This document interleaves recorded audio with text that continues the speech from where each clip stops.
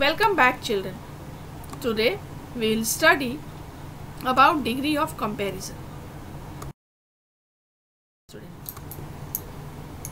An adjective of quality changes its form when it is used to compare one noun with another. It is called the degree of comparison of an adjective.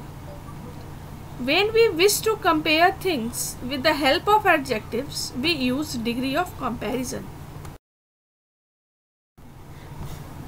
So, there are three degrees of comparison. The positive degree, next is the comparative degree, the superlative degree. First one is the positive degree. The positive degree is used to refer to one object, place or person without making any comparison. It is the original form of the adjective. When we say a sentence, there won't be any comparison. We are just giving the information. Let's see the example. Krishna is an old man. She has a fat dog. Here, is no any comparison. We are talking about only one person and one animal and the adjective is old and fat. That is in positive degree.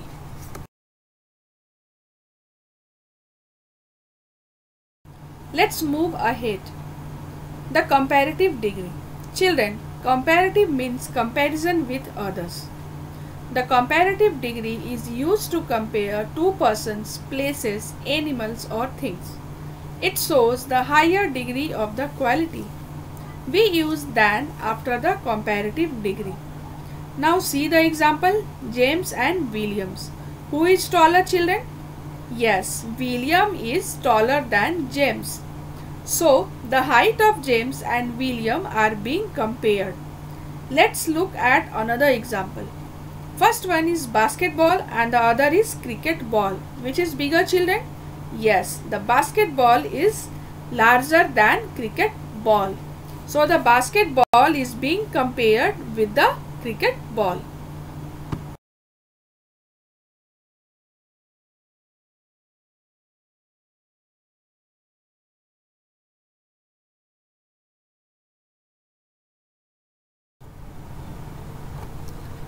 Next is your the superlative degree. The superlative degree is used to compare three or more persons, animals, places and things. It shows the highest degree of the quality. In comparative degree children, we compare two objects and in superlative degree, we compare more than two objects. We use the with the superlative degree of an adjective. The Mount Everest is the tallest of all the mountains. As you know children, the Mount Everest is the tallest one, right? There are so many mountains, but Mount Everest is the tallest one. So Mount Everest here is being compared with all the mountains. So it is a superlative degree. The Great Wall of China is the longest wall in the world. This is also a superlative degree.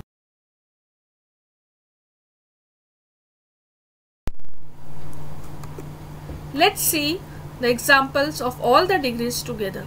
Minu is a tall girl. Here we are not comparing anyone with Minu. So it is positive degree. Sneha is taller than Minu. We compare the height of Sneha with Minu. So it is comparative degree. Aditi is the tallest of all.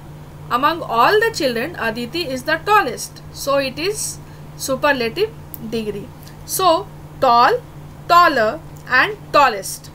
Observe the changes in the words children, which we have done. What we have added? At the same time, you have to remember in which degree of comparison that word is used. Okay? What difference we have made? We have added ER and EST to the word tall to make it comparative and superlative degree. Now children, you must be thinking how we can denote the superlative degree and comparative degree. So for that something we have to keep in our mind while doing the exercise based on this.